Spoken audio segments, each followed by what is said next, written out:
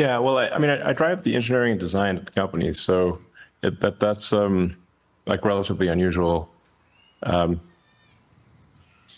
you know, but that's that's, I mean, that's I think a big part of why the companies succeed is because I I understand the engineering and um, I, I know when somebody you know I, I, my judgment on whether somebody is great at engineering or design um, is is quite good. Uh, so in terms of, of, of really having the most talented people, um, giving them the most respons- responsibility. If if you if you don't actually understand the engineering, then then how do you know that somebody is a good engineer? Um, so th- that's really important. Um, you know, we're, we're, a very talented team, but but in order to know that somebody is talented, you must also understand the uh, engineering.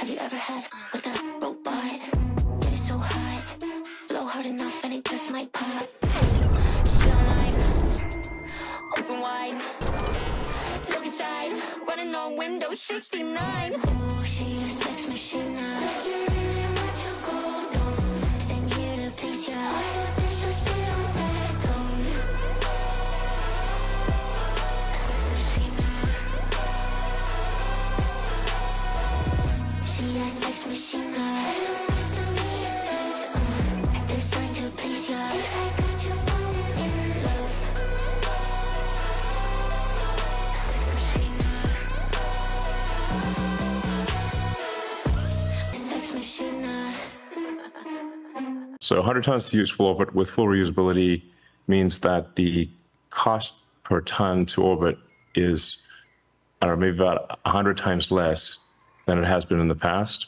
Um, and th- this, is what w- would enable uh, life to extend beyond Earth and, and to build a self-sustaining city on Mars, which would maximize the probable lifespan of consciousness um, by, I don't know, many millennia, if not millions of years.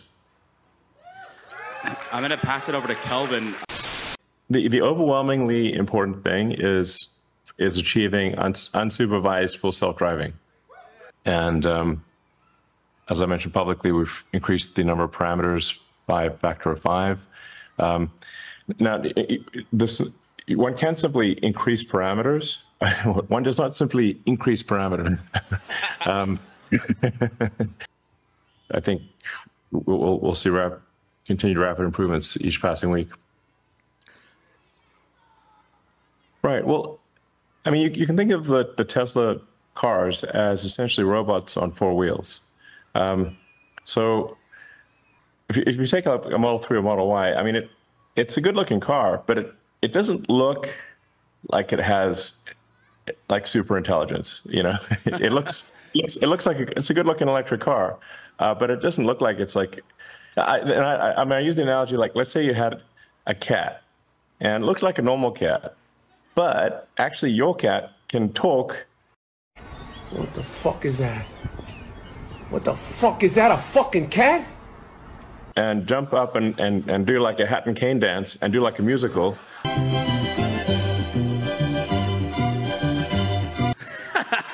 Essentially, like like let's say you, let's say you had a sentient cat that could talk and and do and and and sing and dance.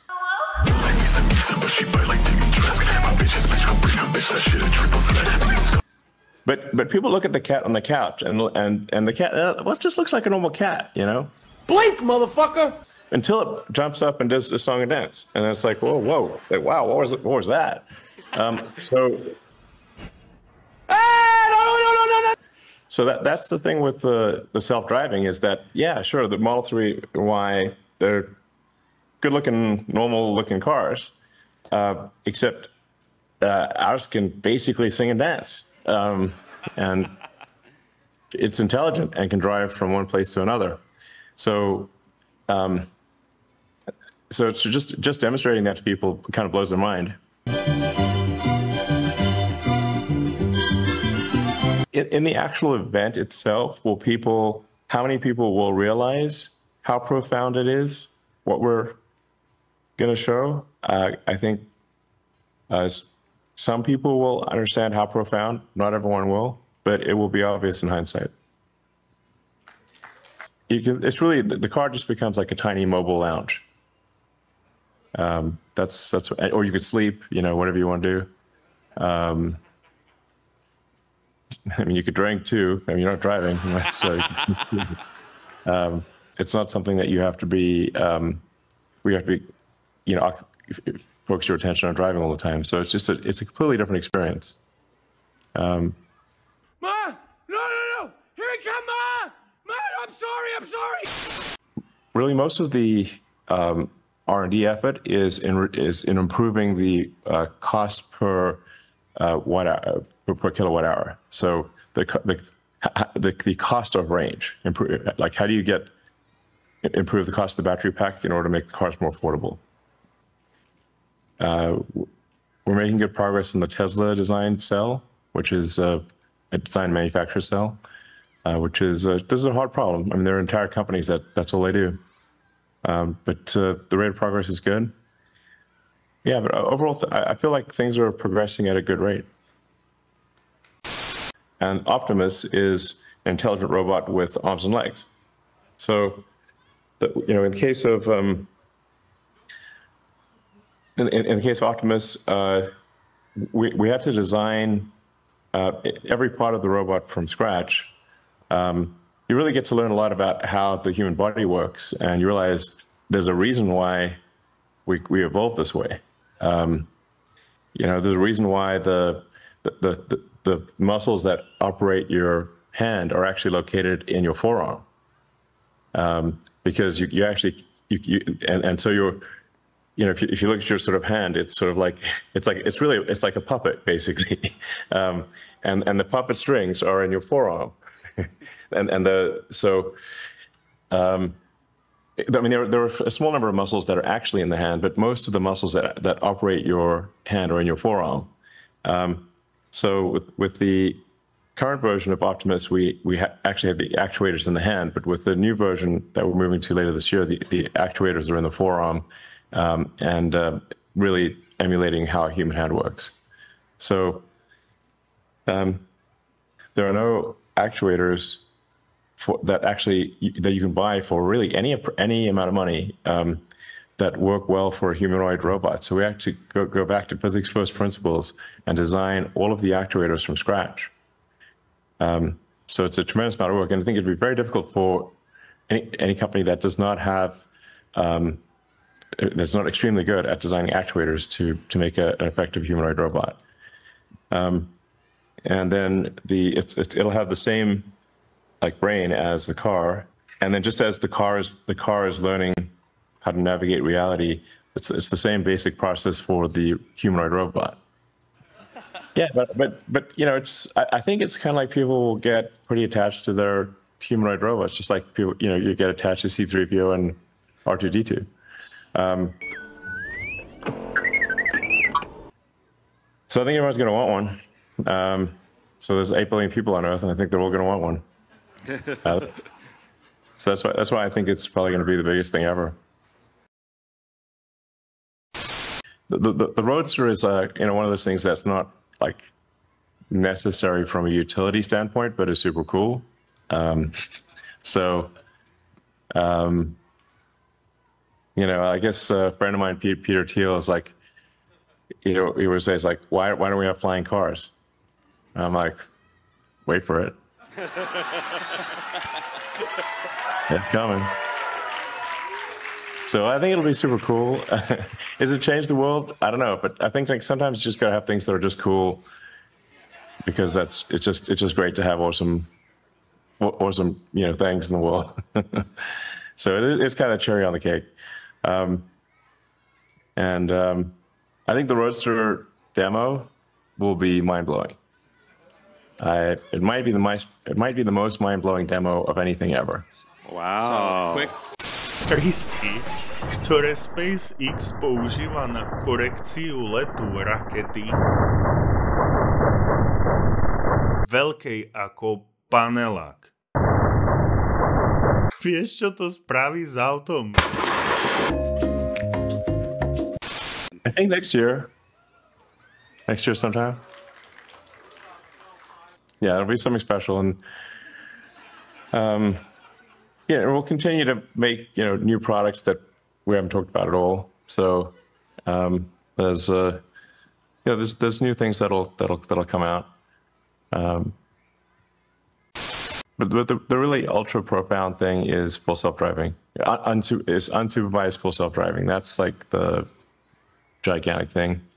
Um, and then uh, Optimus having an autonomous, useful humanoid robot uh, is an even bigger thing than full self driving. But those are the two things that, like, if you were to look back in history from, you know, fast forward like 20, 30 years or 50 years even, like, what are the things that really were profound? It'll be um, unsupervised, a general solution to unsupervised full self driving, um, and a humanoid robot that is uh, truly useful. Um, even 50, 100 years from now, they'll be like, whoa, those are big ones. Well, I love retail investors, I have to say.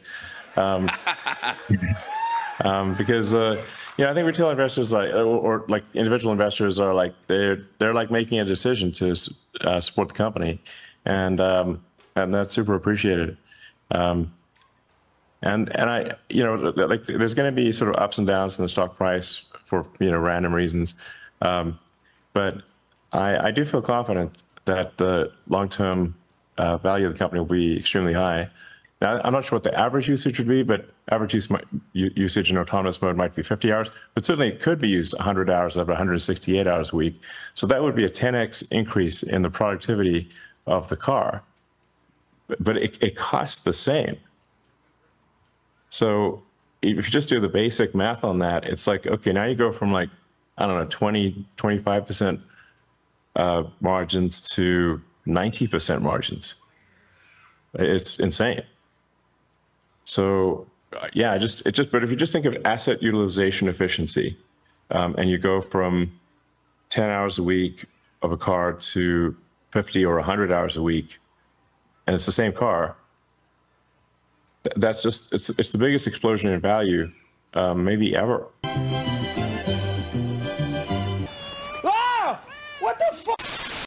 The, the Optimus numbers are like they're really just they're like so mind blowing that you're like, is this is this real? It, but because I I actually think the market for humanoid robots is in excess of 10 billion units, like more more than the number of humans. Because um, people will each want one, and then there'll be others that are involved in industry and stuff. So uh, these things are, like I said, they're they're so profound that they will be recognized. Assuming we do them, uh, we have to actually do them. Um, they will be recognized a hundred years from now, maybe a thousand years from now, as uh, as fundamental milestones in civilization. That's that's the level of significance we're talking about here. So.